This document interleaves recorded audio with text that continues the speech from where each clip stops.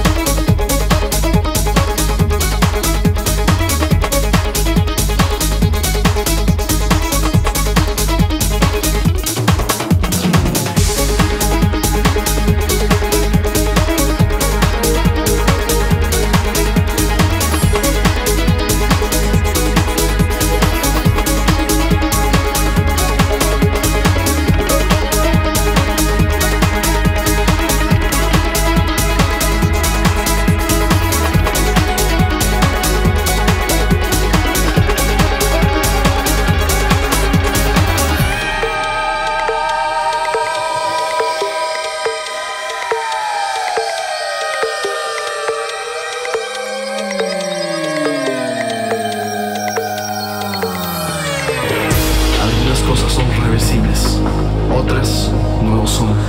Debemos responder al llamado a la preservación de la vida. Debemos ser sinceros y actuar. Ser leales a la vida. Porque al fin y al cabo respiramos el mismo aire y somos vulnerables. Es aquí y ahora el momento de fijar nuestros ojos hacia un solo sentimiento, un solo cielo, una sola tierra, antes que se acabe nuestro cielo y tierra que es nuestro único hogar. Cambiar por nuestros hijos para enseñar lo que es el bien y el